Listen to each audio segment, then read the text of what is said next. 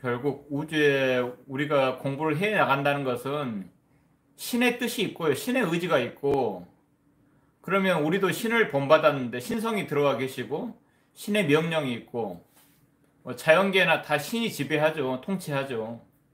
근데 인간한테도 다 내재돼 계셔가지고 우리를 어떤 방향으로 이끌고 계세요. 그걸 현저히 어겨버리면은 그 뜻을 어겨버리면은 양심이라고 볼 때 현저히 어겨버리면 이제 범법자가 돼가지고 감옥에 가 있는 경우가 이제 예, 드물지만 있죠. 예, 그런 분들이 있고 그 외에는 웬만하면 신의 뜻을 어기려고는 안 해요.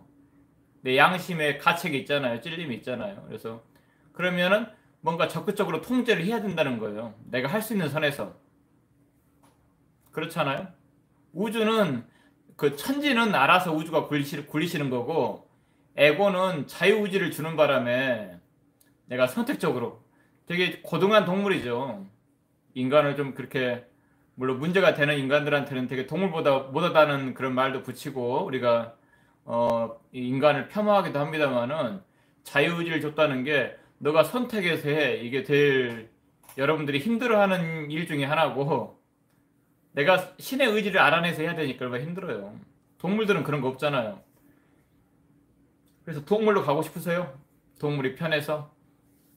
안 편합니다. 예, 몇몇 에, 여유 있는 동물이 있기는 하지만은 그 세계도 정말 예, 쉽지 않습니다. 예, 인간으로 왔기 때문에 자유의지를 선물로 이렇게 신한테 부여받았다 그래서 그러면은 결국 공부해서 내가 알아, 알아내가지고 신의 뜻을 내 안에 담는다는 건데, 내 말과 행동에 담는다는 건데, 쉽지 않죠. 쉽지 않은데, 여러분들이 해내셔야 된다. 해내면은, 어, 현인, 뭐, 성자라는 게, 예, 칭호도 듣게 된다. 몇몇 분 계시잖아요, 인류에. 예.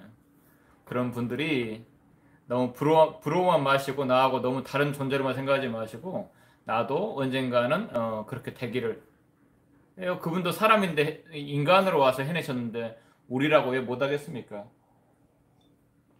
근데 뭘, 뭘 하셨는지를 알아내야죠. 어떤 걸 하셔서 그 자리까지 가셨는지를. 그러면 스펙트럼이 범죄자로 갈 건 아닌데 그러잖아요. 악한 길도 있어요. 악, 악도도 있어요. 근데 선도, 선으로 향하는 길이 있고 어, 선 쪽이 신의 의지겠죠. 악을 준건 어, 자유의지를 어, 줘서 그런 거다. 거스를 수 있는데 너가 공부해서 내 뜻을 알아내서 내 뜻에 맞춰 따라와라. 어, 그런 게 좀 힘든 부분이죠. 예. 그런 걸 함께 해주는 게 이제 이런 멘토들이 할 역할이겠죠. 먼저 걸었으니까 그런 길을. 예.